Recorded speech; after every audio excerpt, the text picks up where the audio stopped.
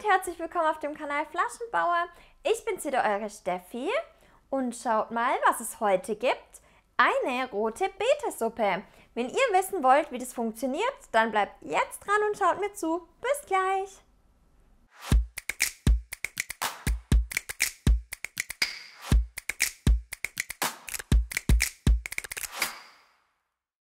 Dafür braucht, das zeige ich euch jetzt. Und zwar natürlich als erstes mal hier die rote Beete. Ich habe hier vier Stück und ähm, insgesamt sollte es 600 Gramm ergeben. Also wenn ihr kleinere oder größere habt, müsst ihr halt schauen, dass es so ungefähr circa 600 Gramm ergibt. Genau, dann haben wir hier zwei Karotten, mittelgroße Karotten. Dann haben wir hier zwei Kartoffeln. Dann haben wir 100 Gramm Creme Fraiche, 20 Gramm Meerrettich. Wenn ihr frischen Meerrettich nehmt, dann nehmt ihr ein Stück. Ähm, dann haben wir hier noch drei Teelöffel Gemüsebrühe, also so Instant-Gemüsebrühe. Dann haben wir ein Liter Wasser. Ja, dann brauchen wir noch Zwiebeln, also eigentlich eine Zwiebel, wenn ihr eine große habt, aber ich habe jetzt kleine, dann habe ich zwei genommen. Dann braucht ihr noch Pfeffer und Salz zum Würzen und ihr braucht etwas Butter und zwei, zwar ganz genau zwei Esslöffel. Genau. Ja, und dann fangen wir auch schon gleich mal an, würde ich sagen. Als erstes werde ich die Kartoffeln schälen und dann werde ich sie in so kleine Würfeln schneiden. Genau, das mache ich jetzt mal als allererstes. Und das mache ich dann bei den Karotten auch und bei der roten Beete natürlich auch. Aber für die rote Beete habe ich hier schon meine Einmalhandschuhe bereitgelegt, weil, ähm, ja, ihr wisst ja, sonst kriegt man das nicht mehr so gut von den Händen weg.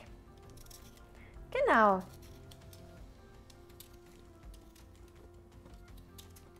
Also ich persönlich liebe ja rote Beete. Ich könnte nicht genug davon bekommen.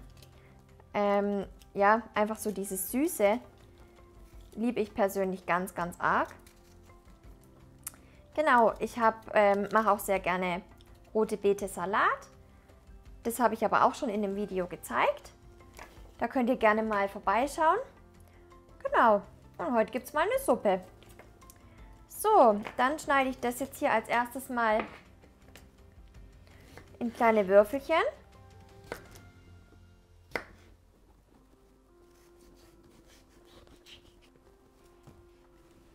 Dann können wir das Ganze eigentlich schon mal hier in unseren Topf reingeben.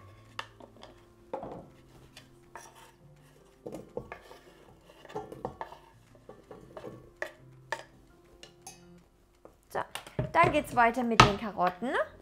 Da schneiden wir natürlich den Anfang und das Ende weg. Können wir ja nicht gebrauchen.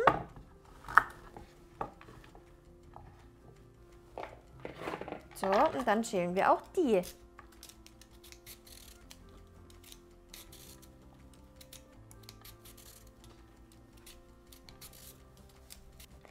Auch hier mache ich jetzt kleine Stückchen.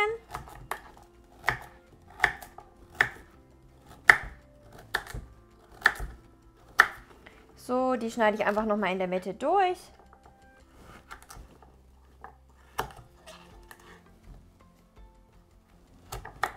Ha, bleibst du hier. Abhauen gibt's nicht. So, und auch das kommt dann rein in den Topf.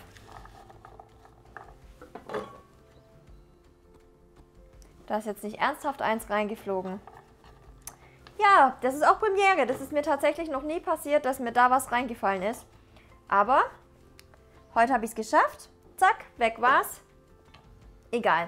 Das kann man ja gut wieder hochholen. Das ist ja gar kein Problem. So, ich ziehe jetzt meine Handschuhe an und dann geht es nämlich der rote Beete an den Kragen. Fangen wir doch gleich mal an. Da auch hier schneide ich den Anfang und das Ende ab. So. Und die werde ich genauso auch schälen. Genau.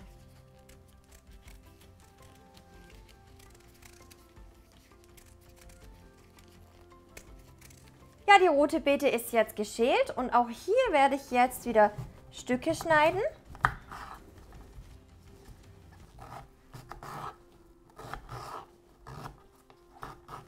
Der Meerrettich duftet hier sehr, sehr gut und intensiv neben mir. Das kommt hier rein.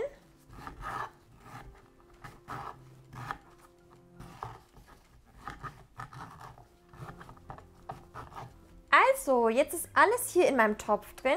Und jetzt geht es weiter. Ich brauche jetzt zwei Esslöffel Butter. Die werde ich jetzt hier mit reingeben in den Topf. So, das Stückchen hier nehme ich auf jeden Fall mal noch mit. Und noch ein bisschen. So, dann mache ich das Ganze untereinander. So ein bisschen. Und dann mache ich den Herd an. Und lasse das Ganze jetzt so gut zwei bis drei Minuten ne? so ein bisschen ähm, andünsten. Ne? So dass praktisch auch die ähm, Butter verschmilzt. Und genau, dann kommt nachher das Wasser dazu, aber das zeige ich euch dann gleich. Ja, was mir gerade eben aufgefallen ist, ich habe doch noch was vergessen hier. Zwei Zwiebeln liegen doch noch neben mir. Die müssen natürlich auch noch damit rein. Ähm, ich habe den Herd jetzt ganz klein gemacht, damit es nur so ein bisschen vor sich hin köchelt. Weil die Zwiebeln, die sorgen natürlich auch für den Geschmack. Und deswegen müssen die auch noch damit rein. Schnell mal die Schale weg. Und dann werden die geschnitten und dann geht es schon ab rein in den Topf. Oh, ich liebe gar nicht Zwiebeln schneiden. Gar nicht. Ist wirklich sowas. Puh. Das macht normalerweise immer mein liebster Verlobter.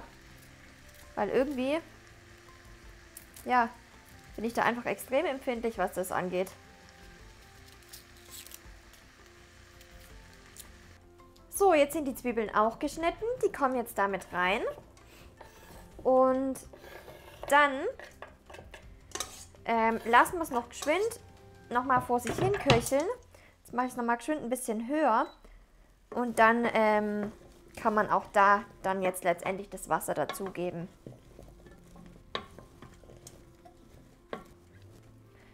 So, jetzt kommt das Wasser damit rein. Und dann kommt noch hier die Gemüsebrühe mit rein, für den Geschmack natürlich. Und das Ganze lassen wir jetzt ein bisschen vor sich hin köcheln, so dass es dass nachher das Gemüse auch weich ist, wenn ihr reinstupft mit dem Messer. Ähm, genau, und ich mache da jetzt einfach mal den Deckel drauf und das Ganze dauert jetzt wahrscheinlich so circa 20 Minuten. Aber zwischendrin gebe ich immer mal wieder ein kurzes Update. Genau, bis gleich. Ein kurzer Zwischenstand, ein kurzes Zwischenupdate. Ähm, das Gemüse ist noch relativ hart. Also wir müssen noch ein bisschen warten, bis es weicher wird. Genau. Das machen wir jetzt mal noch. In der Zwischenzeit können wir aber schon mal anfangen hier mit unserem Meerrettich und unserem Creme Fraiche. Und zwar geben wir jetzt einfach hier zu, zu dem Creme Fraiche, geben wir den äh, Meerrettich dazu. Das kommt hier mit rein. Das Ganze wird dann untereinander gemacht.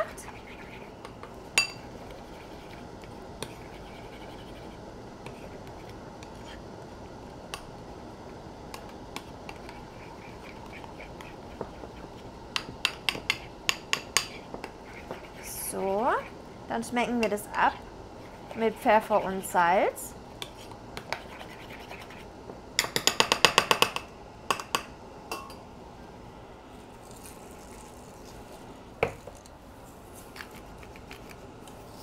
So, dann brauchen wir hier mal einen Teelöffel, damit ich das gleich probieren kann. Machen es nochmal untereinander.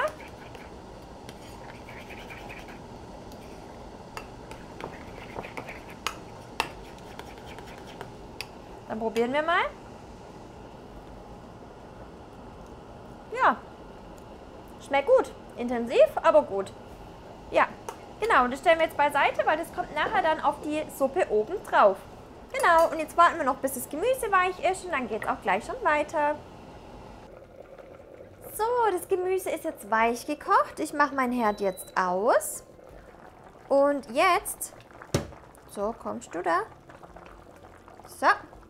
Jetzt pürieren wir das Ganze. Und zwar geht es jetzt da einmal los. Der hier kommt raus. Und dann fangen wir gleich mal an.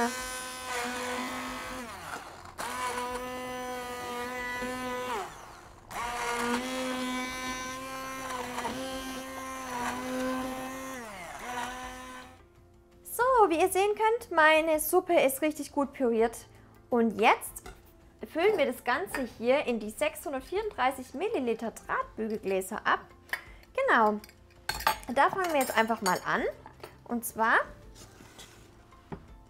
geben wir jetzt hier mit dem Trichter die Suppe einfach mal in die Gläser. Und ich finde, in diesen Drahtbügelgläsern, da wirkt die Suppe einfach so süß, so schön da drin. Einfach ganz anders direkt wie in einem Topf. Beziehungsweise nachher in einem Teller dann, wenn man es aus einem Teller isst. Ähm, genau, ich finde, es macht einfach was her, wenn es hier in diesen Gläsern drin serviert wird. Und wie gesagt, es gibt ja auch kleinere Drahtbügelgläser. Wenn jemand nicht ganz so viel Suppe essen möchte, kann man natürlich auch kleinere Gläser nehmen. So, ich würde sagen, man, lasst, man lässt jetzt erstmal so. So, die Suppe ist ja jetzt eingefüllt. Jetzt gebe ich da noch einen Klecks Meerrettich oben drauf.